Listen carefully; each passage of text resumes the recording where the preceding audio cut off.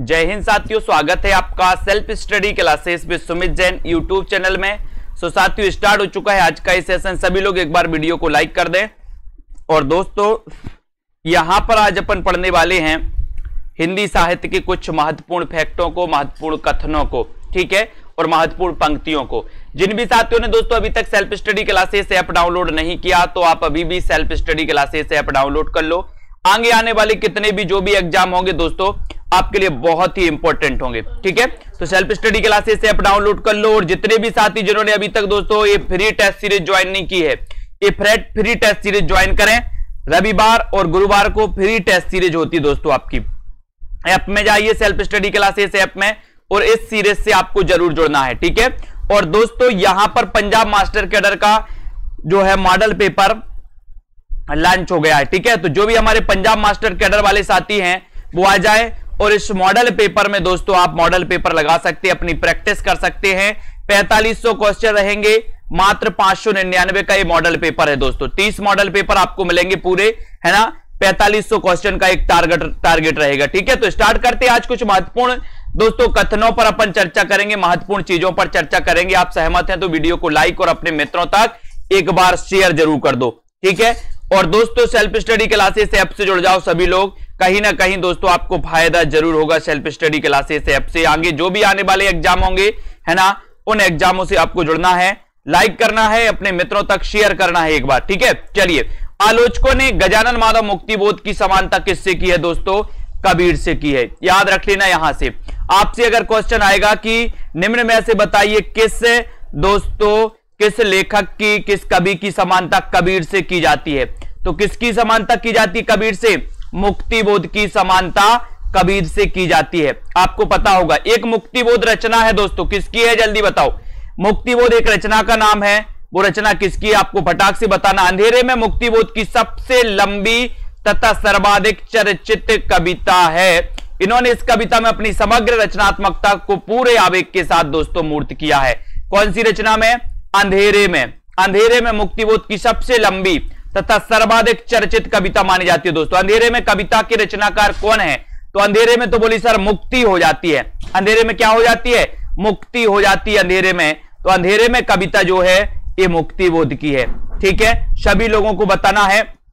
यहाँ पर देखो, अंधेरे में दोस्तों कविता एक स्वप्न कथा है, यानी कि एक क्या है? फैंटसी है। ठीक है?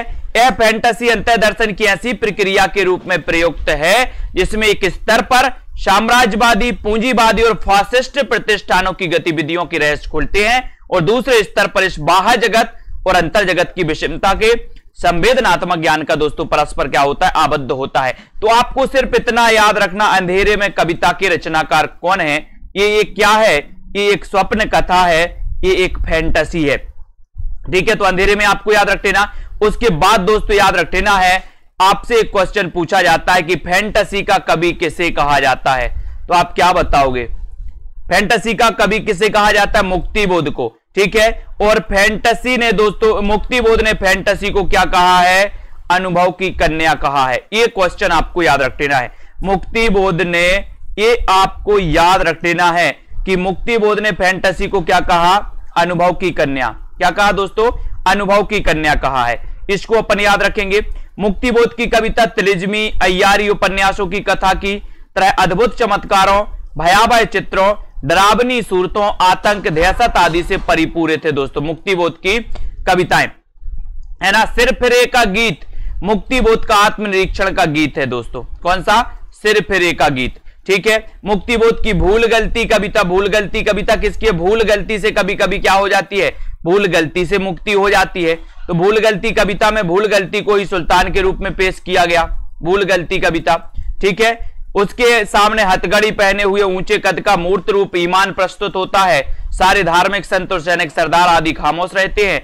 ईमान को जीवन की सर्वनाक शर्तें मंजूर नहीं। तो मुक्ति बोध की एक कविता भूल गलती भी है दोस्तों, जैसे अंधेरे में है। भूल गलती भी दोस्तों इनकी है, इसको याद करेंगे। उसके बाद बात करते हैं ब्रह्म राक्षस की। तो ब्रह्म राक्षस मुक्तिबोध की प्रसिद्ध लंबी कविता है। ब्रह्म राक्षस कैसी कविता है दोस्तों? मुक्तिबोध की प्रसिद्ध लंबी कविता है। मुक्तिबोध की प्रसिद्ध लंबी कविता कौन सी है? तब आपको याद करना है कि सर मुक्तिबोध की जो प्रसिद्ध लंबी कविता, वो कौन सी है? ब्रह्म राक्षस ब्रह्म राक्षस। है ना? ये याद रख लेना है। और इसमें ऐसे ब्राह्मण को प्रस्तुत किया गया, जो अतृप्त कांचाओं के साथ मर गया और ब्रह्म राक्षस बन गया। ब्रह्म राक्षस, ठीक है? तो ब्रह्म राक्षस याद करो। शमशेर बहादुर की बात करें तो आपको बताना है, कवियों का कवि किसे कहा जाता है? जल्दी से बताओ। अंधेरे में शमशेर बहादुर ने मुक्ति बोध की। अंधेरे में कविता को आधुनिक जन इतिहास का स्वतंत्रता से पूर्व और पश्चात का एक दहकता इस्पाती दस्तावेज़ कहा है। अब आपसे क्वेश्चन आएगा। आपसे क्वेश्चन पूछा जाएगा कि शमशेर बहादुर ने मुक्ति बोध की किस कविता के लिए एक दहकता इस्पाती दस्तावेज़ कहा है? तो किस कविता के लिए कहा है? वो कहा है दोस्तों, अंधेरे में कविता के लिए। अंधेरे में कविता के रचनाकार कौन है? तो अंधेरे में कविता के रचनाकार है दोस्तों कौन? शमशेर बहादुर। कौन है? शमशेर बहादुर। इसको याद रखो, अंधेरे में कविता सर्वप्रथम सन 1964 में दोस्तों कल्पना पत्रिका कल्पना पत्रिका में प्रकाशित हुई थी और इसका प्रथम प्रकाशन आशंका के दीप अंधेरे में शीर्षक से हुआ था। यानी कि दोस्तों, जो अंधेरे में कविता है, सबसे पहले इसका जो प्रकाशन हुआ था, वो किस नाम से हुआ था? इस नाम से हुआ था आशंका के दीप अंधेरे में। है ना? आशंका के दीप अंधेरे में, फिर बाद में ये अंधेरे में नाम से हुआ। तो ये भी अपन को याद रखते ना दोस्तों, आशंका के दीप अंधेरे में। ठीक है? भवानी प्रसाद मिश्र का पहला काव्य संग्रह कौन सा है? गीत फरोश। पहला काव्य संग्रह कौन सा है? गीत फरोश। गीत फरोश याद रखते ना इंपॉर्टेंट है भवानी प्रसाद मिश्र का। पहला काव्य संग्रह। ठीक है, इसको याद रखो, सारा शहर शीर्षक कविता में वर्णित, विनाश लीला किसी परोक्ष सत्ता द्वारा नहीं, बल्कि स्वयं मनुष्य द्वारा रची जा रही है दोस्तों, सारा शहर शीर्षक कविता में, है ना? इसको अपन को याद करना है। उसके बाद जो आपके लिए इंपॉर्टेंट है दोस्तों कि स्नेह शपथ कविता में मिश्र जी, गांधी जी के प्रेम और स्नेह को घर घर पहुंचाना चाहते हैं दोस्तों। किस कविता में? स्नेह शपथ कविता में। स्नेह शपथ कविता किसकी है? स्नेह शपथ कविता है दोस्तों किसकी? ए है, किसकी है? गांधी। ए मिश्र जी की। ठीक है? मिश्र जी को अपन को याद रख लेना है। अब यहाँ पर दोस्तों डॉक्टर शंभुनाथ सिंह को नवनीत, नवगीत नवगीत विधा का प्रवर्तक माना जाता है। अब आपसे अगर पूछा जाएगा कि नवगीत विधा का प्रवर्तक किसे माना जाता है? सभी लोग बताएँगे तो नवगीत विधा का प्रवर्तक माना जाता है शंभुनाथ सिंह को। शंभुनाथ, नवगीत। शंभु के यहाँ अपन का क्या करना है? नव नव गीत बताना नव नव गीत गाना है। कैसे गीत गाना है? नव नव गीत गाना है दोस्तों, कहाँ पर? शंभुनाथ के दरबार में नव नव गीत गाना है। तो ये आपको याद रख लेना है, ठीक है? ये अपन को याद रख लेना नवगीत ठीक है? अब यहाँ पर देखो सुदामा पांडे धूमिल का पहला काव्य संग्रह उन्नीस सौ बहत्तर ईस्वी में संसद से सड़क तक। संसद से सड़क तक के रचनाकार कौन है? तो संसद से सड़क तक की रचनाकार सुदामा पांडे धूमिल, सुदामा पांडे धूमिल। इसको भी अपन को याद रख लेना है, ठीक है? अब यहाँ पर देखो धूमिल का अन्य काव्य संग्रह कौन सा है दोस्तों? सुदामा पांडे का प्रजातंत्र भी है तो ये भी अपन को याद रख लेना, ठीक है? तो ये थी दोस्तों कुछ महत्वपूर्ण चीज़ें, लेकिन अपन को जो पढ़ना है, वो ए पढ़ना है, ठीक है? आज अपन को ए पढ़ना है दोस्तों, महत्वपूर्ण कथन ये अपन को पढ़ना, ठीक है? जिसका जो भी प्रश्न है, वो बाद में, अपनी क्लास में बीच बीच में कोई डिस्टर्ब नहीं किया जाता दोस्तों, ना किसी का नाम लिया जाता बीच में। इसलिए प्लीज़ जो भी आपके जो भी रहते हैं, जिसको भी नाम लेने की और लेवाने की ज़्यादा जल्दी होती है, वो लास्ट में आए, और लास्ट में के पाँच मिनट में, ठीक है? पाँच मिनट में आपकी समस्याएँ आपके नाम। बीच में कोई वो डिस्टर्ब नहीं करना। निज भाषा उन्नति है सब उन्नति को मूल। और बिन निज भाषा ज्ञान के मिटे ना ही को सूल पंक्ति किसकी है? पंक्ति किसकी है दोस्तों? भारतेंदु जी की। कई बार अपन ने पंक्ति पढ़ी है। है ना? कौन सी पंक्ति पढ़ी है अपन ने? कि निज भाषा उन्नति है सब उन्नति को मूल। और बिन निज भाषा ज्ञान के मिटे ना ही को सूल पंक्ति भारतेंदु जी की। है ना? भारतेंदु याद रखते ना, तरण तनुजा तट तमाल तरवर बहुछाए और, है ना, जो के कुल सो जल परसन हित मनहु सुहाए पंक्ति किसकी है? भारतेंदु की। है ना, ये पंक्ति भी अपन को याद रख लेना है। सभी लोग याद रखेंगे कौन कौन सी निज भाषा उन्नति है। आपसे पूछी जाएगी भाषा। क्या पूछा जाएगा आपसे कि निज भाषा उन्नति है, ये पंक्ति किसकी है? पंक्ति किसकी है? भारतेंदु जी की। फिर आपसे पूछी जाएगी दोस्तों क्या पूछा जाएगा कि तरण तनुजा तट तमाल तरबर बहुचाई ये पंक्ति किसकी है? ये पंक्ति भारतेंदु जी की है। किसकी पंक्ति है? भारतेंदु जी की। पैधन विदेश चली जात एह अति ख्वारी। पंक्ति किसकी है? भारतेंदु की। विदेश कहाँ से धन जा रहा है? भारत से या अमेरिका से? बोले, सर पैधन विदेश चली जात। अपने भारत से विदेश जा रहा था धन। है ना? भारत से जा रहा था इस पंक्ति के। रचनाकार भी कौन हो जाएँगे दोस्तों? भारतेंदु। कौन हो जाएँगे? भारतेंदु। तरण तनुजा तट तमाल तरुवर बहुचाए भारतेंदु। है ना? निज भाषा उन्नति है, भारतेंदु जी की रचना है। ये भारतेंदु ही कहेंगे, ठीक है? उसके बाद यहाँ पर अपन देखेंगे दोस्तों, महत्वपूर्ण महत्वपूर्ण एक क्लास है, ये महत्वपूर्ण एक कथन है दोस्तों, कि यह बयारी तबे बदलेगी कछु, पपीहा जब पहुँचे है, पीब कहा पीब कहा? है ना? तो ये पंक्ति आपको बताना कि ये पंक्ति किसकी है? तो यह बयारी, तबे बदलेगी कछु, पपीहा जब पूछे पीब कहा? ये प्रताप नारायण मिश्र आपको पता है दोस्तों, है ना, कि वर्षा कराने में जो पपीहा होता है ना, पपीहा, ये पपीहा कैसा पानी पीता है? कैसा पीता किसी को पता है? बोले, सर, यहाँ इसका छेद रहता है तो यहाँ से पानी पीता है, एक बूंद इसके अंदर जाती है। है ना? तो यहाँ ये पति आपको याद रखते ना कि यह बयारी तबे बदलेगी कछु। पपीहा जब पूछे, पीब कहा? पपीहा जब पूछे, पीब कहा? ये प्रताप नारायण मिश्र की पंक्ति है। जैसे कंता घर रहे, तैसे रहे विदेश। पंक्ति किसकी है? पंक्ति प्रताप नारायण है। प्रताप, है ना? प्रताप कम नहीं होता बोले, सर। प्रताप कम नहीं होगा। तो ये भी आपको याद रख लेना है। ये सभी लोग याद रखेंगे। कि जैसे कंता घर रहे, तैसे रहे विदेश। प्रताप नारायण मिश्र, अब एक चीज़ बताना बोले सर, जैसे हम घर में रहते, वैसे ही बाहर रहते। मेरा प्रताप कहीं कम नहीं होता। ऐसे ही होता ना, प्रताप, है ना? और दोस्तों प्रताप नारायण मिश्र की पंक्ति बोले, सर, जैसे कंता घर रहे और तैसे विदेश में रहते, बोले, प्रताप कम नहीं होता। प्रताप कम नहीं होता तो पंक्ति किसकी होगी? प्रताप नारायण मिश्र की या भारतेंदु की? बोले, सर, प्रताप नहीं होता तो प्रताप नारायण मिश्र है ना? कौन करे जो नहीं कसकत? सुनी विपत्ति बाल विदबन की, विपत्ति बाल विदबन की प्रताप नारायण मिश्र है। आप दोस्तों, ये पंक्ति में कहा गया कि किसका करेजा किसका करेजा नहीं खिसकेगा? किसका करेजा दोस्तों, है ना? नहीं किसकेगा जो बाल विधवाओं की कथा सुने, बाल विधवाओं की दोस्तों बात सुने, बाल विधवाओं के बारे में सुने, है ना? उसका कलेजा खिसकता है बोले, सर, है ना? ये प्रताप है बोले, सर, बाल विधवाएँ। पहले क्या होती थी दोस्तों? कि बाल्यावस्था में ही शादी कर दी जाती थी। है ना? पालना में पालना में झूल रहे और बोले, शादी हो गई। और जब बाल विधवाएँ होती थी, उनकी कथा आज सुनते हो आप तो आपका करेजा भी घिसटने लगता, खिसकने लगता है। है ना? तो इसको याद रखने, कौन को करेजो नहीं खिसकेगा बोले? कौन का करेजा नहीं खिसकेगा? है ना? जो विपत्ति बाल विधबन की सुनती हैं, ये प्रताप नारायण मिश्र की अपन को याद रखते ना, ये पंक्ति प्रताप नारायण मिश्र की है। ठीक है? जो विषया संतन तजी ताही मूड लपटाती, राधा कृष्णदास राधा कृष्णदास ये पंक्ति है, जो विषया संतन तजी ताही मूल लपटाती। है ना? केवल मनोरंजन ना कवि का कर्म होना चाहिए, उसमें उचित उपदेश का भी मर्म होना चाहिए। पंक्ति किसकी है? पंक्ति किसकी है दोस्तों? पंक्ति है मैथिली शरण गुप्त की। किसकी पंक्ति है?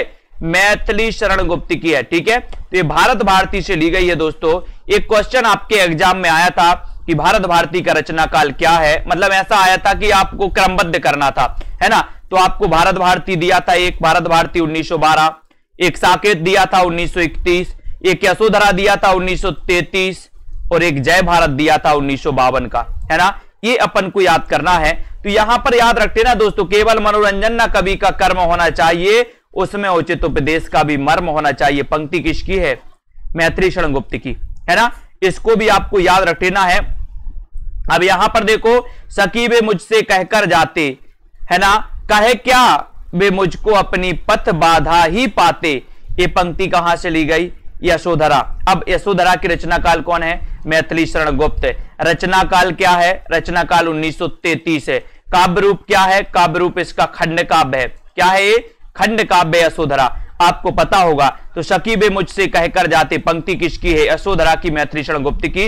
इन पंक्तियों को भी अपन को याद करना है। तो यहाँ पर अपन ने याद किया है दोस्तों, निज भाषा उन्नति यह भारतेंदु की है। तण तनुजा तट तमाल तरुगर बहु भारतेंदु पेधन विदेश चली जात, यह अति खुआरी भारतेंदु ठीक है? यह बयारी तबे बदलेगी, प्रताप नारायण मिश्र है ना? जैसे कंता घर रहे, तैसे रहे विदेश। प्रताप नारायण मिश्र कौन करे जो नहीं कसकत सुनी विपत्ति बाल विद्वन की? ये प्रताप नारायण मिश्र की पंक्ति है है ना? जो विषया संतन तजी, ताही मूड लपटाती, है ना? ये राधा कृष्णदास राधा कृष्णदास, इसको याद रखो, केवल मनोरंजन न कवि का कर्म। मैत्री शरण गुप्त का जन्म बताना है आपको। कहा कब हुआ था? मैत्री शरण गुप्त का जन्म कब हुआ था? जल्दी से बताएँ सभी लोग। केवल मनोरंजन न कवि का कर्म होना चाहिए। पंक्ति किसकी है? मैत्री शरण गुप्त जी की। ठीक है? शकीबे मुझसे कहकर जाते। यशोधरा से ली गई मैत्री शरण गुप्त की पंक्ति। इन पंक्तियों को याद करना है धीरे धीरे याद करते चल रहा है। अब यहाँ पर आते हैं कि अबला जीवन, हाय तुम्हारी यही कहानी। और आंचल में है दूध और आँखों में पानी। पंक्ति किसकी है? पंक्ति किसकी है? पंक्ति यशोधरा से ली गई दोस्तों, और ये पंक्ति मैथिली शरण गुप्त की है। ठीक है? यशोधरा क्या है? खंडकाब। है ना? जन्म कब हुआ था? 1886 में। किसका जन्म हुआ था 1886 में? बोले, सर, मैथिली शरण गुप्त का। है ना? तो यहाँ पर याद रखे ना अबला जीवन हाय तुम्हारी यही कहानी। है ना? ये यशोधरा से ली गई दोस्तों पंक्ति, और ये पंक्ति मैत्री शरण गुप्त की है। मैत्री शरण गुप्त के बारे में अपन को याद रख लेना है। ठीक है? इसको भी अपन को याद रख लेना है। है ना? अब यहाँ पर देखो, नारी पर नर का कितना अत्याचार है और लगता है विद्रोह मात्र ही अब उसका प्रतिकार है। ये किसने कहा? मैथिली शरण गुप्त ने। बोले, नारी पर नर का अत्याचार है सर तो उसको मैथी खवा दो। क्या खवा दो? मैथी। समझ में आ जाएगी? किसी को ऐसा लग तो नहीं रहा, नहीं तो मैथी खवा देना। नारी पर नर का कितना अत्याचार है। मैं आइडिया दे रहा हूँ आप लोगों को। बोले, नारी पर नर का कितना अत्याचार, मैथी खवा दो। क्या खवाना मैथी। तो मैथी से क्या बनेगा? ये पंक्ति किसकी हो जाएगी? मैथिली शरण गुप्त की। अब अब आप बोलोगे, सर, आप कभी नहीं भूल जाएँगे इसको। भूल ही नहीं सकते। अगर एग्ज़ाम में आ गई ना पंक्ति कि नारी पर नर का कितना अत्याचार है, बोले, मैथी कब आओ है ना? तो मैथिली शरण गुप्त हम कौन थे? क्या हो गए? और क्या होंगे अभी?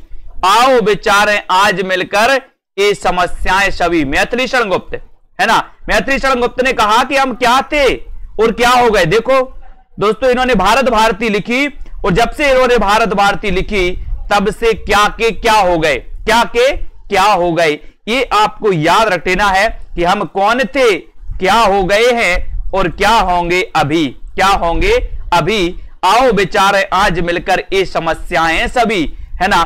तो बोले, सर, ये आपको याद रखना है ये मैत्री शरण गुप्त की पंक्ति है। किसकी है मैत्री शरण गुप्त की? भारत भारती की इन्होंने रचना की 1912 में, है ना? और भारत भारती से इतने प्रसिद्ध हो गए, इतने प्रसिद्ध हो गए दोस्तों कि इन्हें राष्ट्र कवि की संज्ञा दे डाली राष्ट्र कवि की उपाधि दे गई। तो मैत्री शरण गुप्त ने कहा, अपन को याद करना है। कहा कि बोले, हम क्या थे?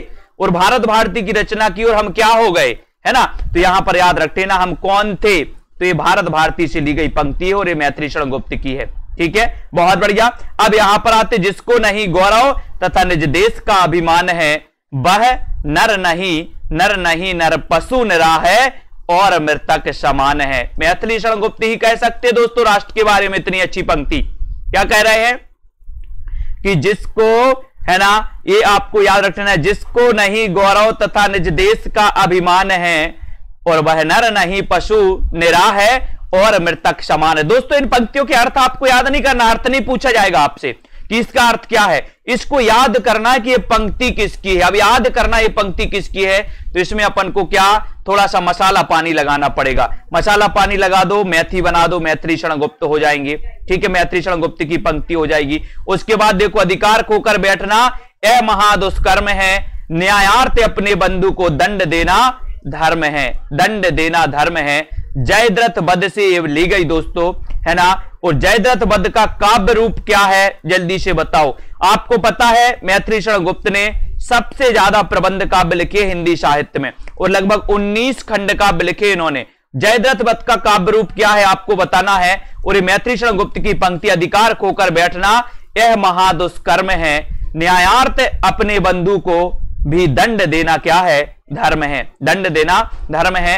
पंक्ति मैत्री शरण गुप्त की है। जयद्रथ बद से ली गई है। जयद्रथ बद का आपको बताना है कि जयद्रथ बद का बताएँ दोस्तों कि कौन सा काव्य रूप इसका क्या है। तो आपको पता है कि सर ये जयद्रथ बद है, मैत्री शरण गुप्त का एक खंड काव्य है। खंड काव्य है। आपने को पता होगा दोस्तों कि मैत्री शरण गुप्त ने एक साकेत महाकाव्य भी लिखा, एक जय भारत महाकाव्य भी लिखा, है ना? और वही मनुष्य है जो मनुष्य के लिए मरे। मैत्री शरण गुप्त ने कहा कि वही मनुष्य है जो मनुष्य के लिए मरे।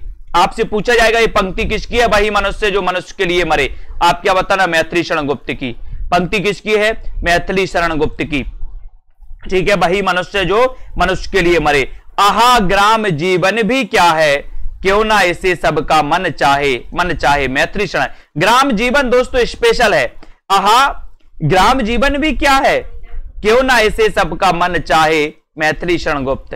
है ना, ग्राम का जीवन बहुत अच्छा है दोस्तों, और ये मैथिली शरण गुप्त की पंक्ति है। इसको भी अपन को याद करना है, ठीक है? हाँ वृद्ध भारत वर्ष ही संसार का सिरमौर है। ऐसा पुरातन देश कोई विश्व में क्या और है? विश्व में क्या और है? भारत भारती मैथिली शरण गुप्त। है ना? बोले हाँ वृद्ध भारत वर्ष ही संसार का सिरमौर है। ऐसा पुरातन देश भी, देश कोई विश्व में क्या और है? बोले, ऐसा पुरातन देश विश्व में कोई और नहीं है जहाँ पर मैथी मैथी की दोस्तों मैथी उपजती है। है ना? बोले, ऐसा पुरातन देश और दूसरा नहीं है। बोले, सर, जहाँ के लोग, जहाँ के वृद्ध लोग मैथी खाते, मैथी। तो मैथी से अपन को याद करना, बोले, सर, ऐसा पुरातन देश तो कोई नहीं है जहाँ पर मैथी खाते लोग, कोई नहीं खाते। है ना? बोले, सर, यहाँ पर अगर नर का नारी पर अत्याचार होता तो मैथी दे देते हैं। इसलिए याद रख लेना कि हाँ वृद्ध भारत वर्ष ही संसार का सिरमौर है। ऐसा पुरातन देश कोई विश्व में क्या और है?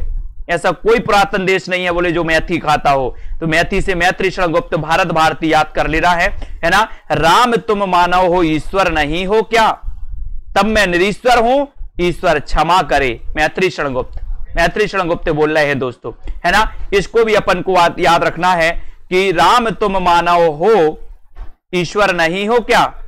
ईश्वर नहीं हो क्या? है ना? तब मैं निरीश्वर हूँ, ईश्वर क्षमा करे। मैथ्री मैत्री गुप्त की पंक्ति। ठीक है? पंक्ति मैथ्री मैत्री गुप्त की है। संदेश नहीं मैं यहाँ स्वर्ग का लाया, इस धरती को ही स्वर्ग बनाने आया। साकेत साकेत नगरी। साकेत नगरी का एक पंक्ति आती ना, स्वर्ग को जा रही मिलने, ऐसा कुछ आती ना पंक्ति का? तो याद रखते ना, संदेश नहीं मैं यहाँ स्वर्ग का लाया इस धरती को ही स्वर्ग बनाने। साकेत 1931 कितने सर्ग साकेत में? 12 सर्ग। नवम सर्ग इनका सबसे मार्मिक सर्ग, है ना? और साकेत महाकाव्य, दोस्तों, राम काव्य पर आधारित महाकाव्य साकेत। और आपको पता है कि हिंदी साहित्य में राम काव्य पर आधारित दूसरा महाकाव्य, दोस्तों रामचरितमानस के बाद ये दूसरा महाकाव्य साकेत। और साकेत के रचनाकार कौन है? मैत्री शरण गुप्त मैत्री शरण गुप्त है ना? 1931 इसका क्या है? रचनाकार है। इसको भी अपन को याद रखना है। संदेश नहीं में यहाँ स्वर्ग का लाया, है ना? और इस धरती को ही स्वर्ग बनाने आया। साकेत चाकेत अपन को याद करना। उसके वे पराधीन रहकर अपना सुख शोक ना कह सकता है और अपमान जगत में केवल पशु ही सह सकता है। पंक्ति किसकी है? पंक्ति किसकी है? राम नरेश त्रिपाठी। किसकी है? राम नरेश त्रिपाठी बोल रहे हैं। क्या बोल रहे हैं कि पराधीन रहकर अपना सुख, शोक ना कह सकता है है ना? यह अपमान जगत में केवल पशु ही सह सकता है। पशु ही सह सकता है? राम नरेश त्रिपाठी। ये पंक्ति किसकी है दोस्तों? राम नरेश त्रिपाठी की। राम नरेश त्रिपाठी का जन्म कब हुआ था? जल्दी से बताइए फटाक से। त्रिपाठी जी का जन्म भी अपन को याद करना है। मैं ढूंढता तुझे था जब कुंज और बन में, तू खोजता मुझे था जब दीन के वतन में। तू आह बन किसी की मुझको पुकारता था। मैं था तुझे बुलाता संगीत के भजन में।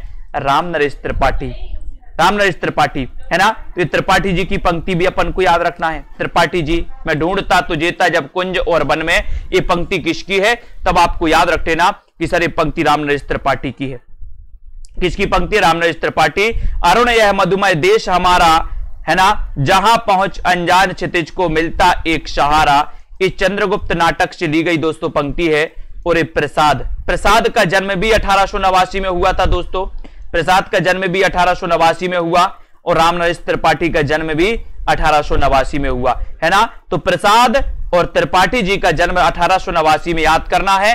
अरुण, यह मधुमय देश हमारा, जहाँ पहुँच अनजान क्षितिज को मिलता एक सहारा। पंक्ति किसकी है? तब पंक्ति ये चंद्रगुप्त नाटक से ली गई। और ये पंक्ति जयशंकर प्रसाद की है। छायाबाद का प्रवर्तक इन्हें माना जाता प्रसाद को, है ना? तो प्रसाद के बारे में याद रख लेना है। उसके बाद यहाँ पर देखें, दुख की पिछली रजनी बीच विकसता सुख का नबल प्रभात, है ना? कामायनी कामायनी प्रसाद प्रसाद की पंक्ति से ली गई। कामायनी में 1935 रचना काल पंद्रह सर्ग है कामायनी में। प्रथम सर्ग चिंता, दूसरा सर्ग आनंद है ना? तो दुख की पिछली रजनी बीच विकसता सुख का नबल प्रभात, कामायनी प्रसाद। ठीक है? प्रकृति के यौवन का श्रृंगार करेंगे कभी ना बासी फूल। मिलेंगे बे जाकर अति शीघ्र आह उत्सुक है उनकी धूल। उनकी धूल, ये पंक्ति याद रखना, ये पंक्ति कामायनी से ली गई। प्रसाद जी की पंक्ति है है ना? कामायनी महाकाव्य प्रसाद जी का, ये भी अपन को याद करना है। अब यहाँ पर अपन को याद रखना है दोस्तों, ये पंक्तियों को। ये पूरी पंक्ति एक बार अपन रिवीजन करते हैं। इन पंक्तियों को, अबला जीवन हाय तुम्हारी, यही कहानी यशोधरा मैत्री गुप्त नारी पर नर का कितना अत्याचार है, लगता है विद्रोह मात्र ही। अब उसका प्रतिकार है मैत्री गुप्त हम कौन थे, क्या हो गए हैं और क्या होंगे अभी? आओ विचारें, आज मिलकर ये समस्याएँ सभी। मैत्री गुप्त की पंक्ति है। है ना? ये हो गए। जिसको नहीं गौरव तथा निज देश का अभिमान है वह नर नहीं, नर पशु निरा है और मृतक समान है। मैथिली शरण गुप्त, ये भी याद रख लेना है। अब यहाँ पर देखिए, अधिकार खोकर बैठना यह महादुष्कर्म है। न्यायार्थ अपने बंधु को दंड देना धर्म है। जय द्रथबद मैत्री गुप्त। ठीक है? भाई मनुष्य जो मनुष्य के लिए मेरे मैत्री गुप्त की पंक्ति है। आहा ग्राम जीवन भी क्या है? क्यों ना इसे सब का मन चाहे मैथिली मैत्री गुप्त की पंक्ति है। इसको याद रखो हाँ वृद्ध भारत वर्ष ही संसार का सिरमौर है। ऐसा पुरातन देश कोई विश्व में क्या हो रहा है विश्व में एबोलिशन मैत्री गुप्त, भारत भारती। ठीक है? भारत भारती की पंक्ति है। अब यहाँ पर देखो, राम तुम मानव हो, ईश्वर नहीं हो क्या? ईश्वर नहीं हो क्या? और ये याद रखे ना, तब मैं निरीश्वर हूँ, ईश्वर क्षमा करे। मैत्री गुप्त। ठीक है? संदेश नहीं मैं यहाँ स्वर्ग का लाया, और इस धरती को स्वर्ग बनाने आया। साकेत, मैत्री गुप्त। साकेत। ठीक है? पराधीन रहकर अपना सुख शोक ना कह सकता है कह सकता है। और दोस्तों, ये अपन को याद रखना है, यह अपमान जगत में केवल पशु ही सह सकता है। राम नरेश त्रिपाठी, मैं ढूंढता तुझे था जब कुंज और बन में, तू खोजता मुझे था जब दीन के बतन में। है ना? तू आह बन किसी को, किसी की मुझको पुकारता था। मैं था तुझे बुलाता संगीत के भजन में। राम नरेश त्रिपाठी त्रिपाठी जी याद करो, अरुण यह मधुमय देश हमारा। ये पंक्ति किसकी अरुण यह मधुमय देश हमारा। चंद्रगुप्त से प्रसाद की पंक्ति है। दुख की पिछली रचनी बीच विकसता सुख का नबल प्रभात, कामायनी की पंक्ति प्रसाद की है दोस्तों। है ना? प्रकृति के यौवन का श्रृंगार करेंगे कभी ना हम बासी फूल, और मिलेंगे बेजाकर अति शीघ्र आह उत्सुक उनकी धूल। कामायनी कामायनी, जयशंकर प्रसाद की अंतिम रचना मानी जाती है दोस्तों, कामायनी। है ना? अंतिम काव्य रचना है, और इनका अंतिम नाटक कौन सा है? क्वेश्चन आपके लिए। प्रसाद का अंतिम नाटक कौन सा है? जल्दी से आपको बताना है। ये महत्वपूर्ण पंक्तियाँ है दोस्तों। नील परिधान बीच सुकुमार खुल रहा है मृदुल, अध खुला अंग, खुला हो जो बिजली का फूल, मेघ बिच बीच गुलाबी रंग। ये भी प्रसाद की पंक्ति है, और ये पंक्ति भी किसकी है दोस्तों? कामायनी। कामायनी से ली गई है है ना? इसको याद रखो, हिमाद्री त्रुंग श्रृंग से प्रबुद्ध शुद्ध भारती, और स्वयं प्रभा समुज्जला स्वतंत्रता पुकारती। ये पंक्ति बहुत ही इंपॉर्टेंट है दोस्तों। हिमाद्री तुंग श्रृंग से प्रबुद्ध शुद्ध भारती, है ना? और स्वयं प्रभा समुज्जला स्वतंत्रता पुकारती, है ना? आपको पता होगा, जयशंकर प्रसाद का अंतिम नाटक है ध्रुव स्वामिनी। ध्रुव स्वामिनी है है ना? बिल्कुल सही है। और आपका आपका सही आंसर हो जाएगा, ये चंद्रगुप्त नाटक से लिया गया। प्रसाद का चंद्रगुप्त नाटक आपने पढ़ा होगा।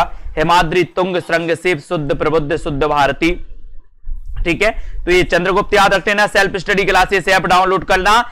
अधरों में राग अमंद पिए, अलकों में मलयज बंद किए।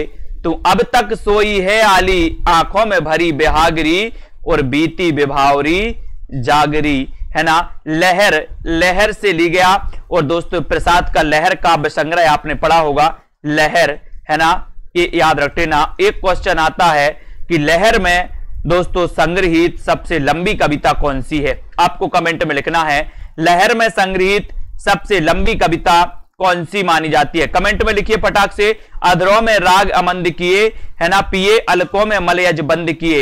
ये पंक्ति है दोस्तों, लहर से और प्रसाद की पंक्ति है। जयशंकर प्रसाद, है ना? नारी तुम केवल श्रद्धा हो, विश्वास रजत नंग पग तल में है ना? पीयूष स्रोत सी बहा करो, जीवन के सुंदर समतल में। तो ये पंक्ति भी आपको याद रखना, एक कामायनी से पंक्ति ली गई और प्रसाद की पंक्ति है। नारी, तुम केवल श्रद्धा किसका प्रतीक है?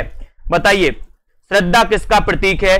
ये भी आपको बताना। बिल्कुल सही बताया कि सर, लहर जो है, ये काव्य संग्रह है, जयशंकर प्रसाद की बिल्कुल सही है। और इसमें सबसे लंबी जो कविता है, वो प्रलय की छाया है। प्रलय की छाया, ये क्वेश्चन भी कई बार आया है। अब आपको बताना है, क्या बताओगे?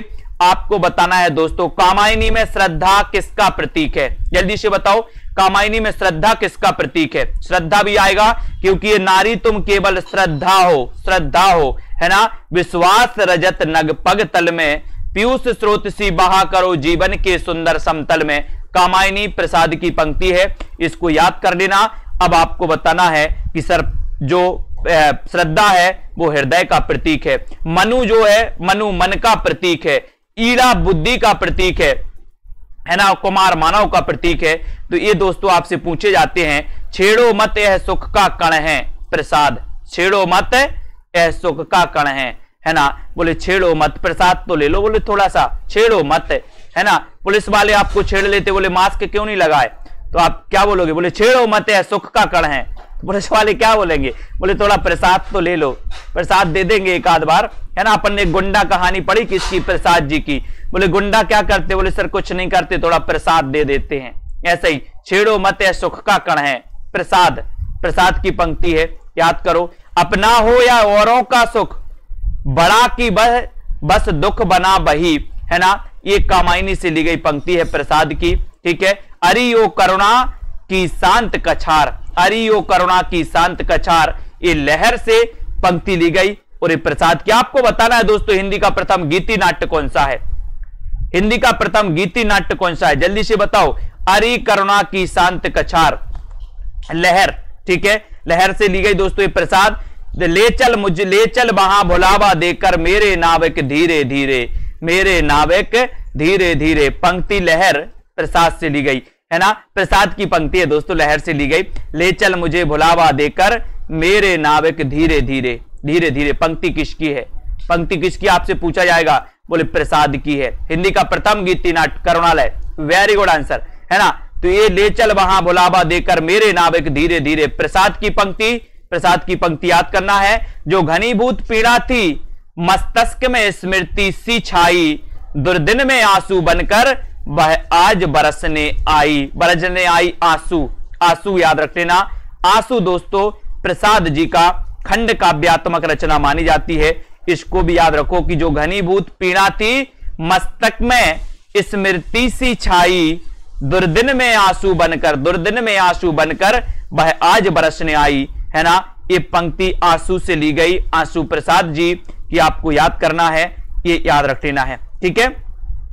यहाँ पर रखो, सुंदर है बेहग सुमन सुंदर, मानव तुम सबसे सुंदरतम। पंत जी की, पंत की देखो पंत पंत जी की पंक्ति है, सुंदर है बेहग सुमन सुंदर, मानव तुम सबसे सुंदरतम। पंक्ति किसकी है? बोले, सर सुमित्रानंदन पंत की सुमित्रा नंदन पंत की, ये आपको याद रख लेना है है ना?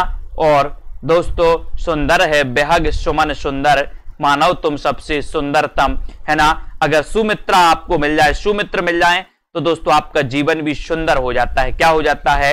सुंदर हो जाता है। तो सुंदर है बेहग सुमन सुंदर। इसको याद कर लेना, बहुत अच्छी पंक्ति है है ना? ये पंक्ति दोस्तों पंत जी की, सुमित्रानंदन, पंत जी का जन्म बता देना जरा। जन्म कब हुआ था पंत जी के बारे में? पूछा नहीं गया, टीजीटी में बड़े निराश हैं लोग, बोले, सर, पंत को घोल घोल के पिया, घोल घोल के पिया। पंत को पूछा नहीं गया, है ना? पंत को नहीं पूछा गया, अब की बार पूछा जाएगा, है ना? और सुंदर विश्वासों ही से बनता रे सुखमय जीवन जो सहज सहज सांसों से चलता और का मृदु स्पंदन स्पंदन पंक्ति किसकी है? पंत की। पंक्ति किसकी है दोस्तों? पंत की है, ये पंत की याद रख लेना। सुंदर विश्वासों ही से बनता रे सुखमय जीवन। है ना? मुक्त करो नारी को, मानव चिरबंदनी नारी को। युगबाणी से ली गई। अपन ने पता है दोस्तों युग बाणी युग बाणी याद रख लेना। ये पंत की प्रगतिवादी रचना। कभी कभी ऐसा क्वेश्चन आता है कि निम्न में से बताइए पंत की प्रगतिवादी रचना कौन सी है? तो पंत की प्रगतिवादी रचना युगबाणी। कौन सी है? युगबाणी। याद रख लेना और दोस्तों, पंत को प्रगतिवाद का प्रवर्तक माना जाता है। ठीक है? मुक्त करो नारी को, मानव चिरबंदनी नारी को। पंक्ति पंत की, है ना? और ये मोस्ट इंपोर्टेंट है। वियोगा होगा वियोगी होगा पहला कवि। आह से उपजा होगा गान। उमड़कर आँखों से चुपचाप बही होगी कविता अनजान। पंक्ति किसकी? अब यहाँ वियोगी आ गया तो कुछ लोग वियोगी हरी लगा देते हैं, लेकिन वियोगी हरी नहीं लगाना है। इसको याद रखना ये पंत की पंक्ति होगी। पंत ने बड़ी अच्छी पंक्ति लिखी कि वियोगी होगा पहला कवि, आह से उपजा होगा गान। उमड़कर आँखों से चुपचाप बही होगी कविता अनजान। आपने देखा होगा दोस्तों कि जब व्यक्ति को वियोग हो जाए, है ना? वियोग हो जाए तो अपने आप क्या हो जाती? कविता। क्या हो जाती दोस्तों? कविता का उदय हो जाता, जैसे अपन ने घनानंद को पढ़ा, बोधा को पढ़ा, रीति काल में, है ना? और दोस्तों, बहुत सारे ऐसे कवि, तुलसीदास को ले लो, तुलसीदास जी तो रत्नावली ने कहा कि ऐसी भक्ति अगर भगवान श्री राम की करोगी तो कल्याण हो जाएगा, है ना? तुलसीदास बोले हत तेरी की, जिसको पूरा जीवन समर्पित कर दिया, है ना? उसने आज इतनी बड़ी बात कर दी। छोड़ छाड़ के रत्नावली को तुलसीदास निकल पड़े और फिर कई चित्रकूट के घाट पे भाई संतन की भीड़ और तुलसीदास चंदन घिसे तिलक देत रघुवीर। तुलसीदास, महान कवि दोस्तों, एक क्वेश्चन आपके टीजीटी में आया, बहुत सारे स्टूडेंट ने। दोस्तों, सही किया, कुछ लोगों ने गलत कर दिया।